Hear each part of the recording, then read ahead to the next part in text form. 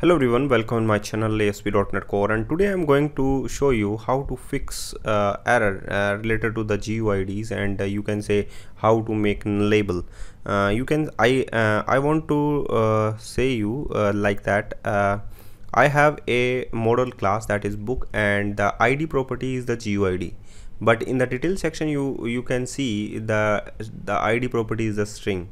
So just you can see when we when I run that uh, project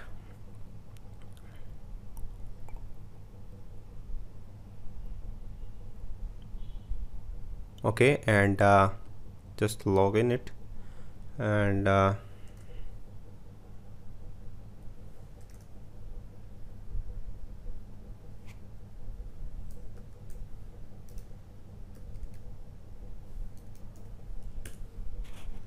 okay just just click on the books and go to the detail section.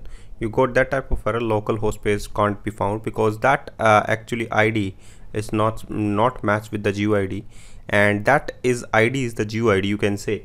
So uh, how to fix that type of error? So uh, make that id that string is GUID first of all. And GUID if, if it is GUID is that then got that type of warning message uh, the result of the uh, expression is always false since a value of the type GUID is never equal to null.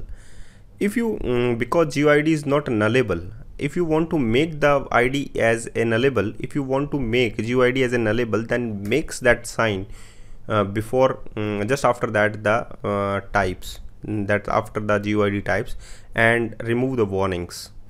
So after that you will solve that types of problems like that and uh, resolve your issues. Okay and just log in it and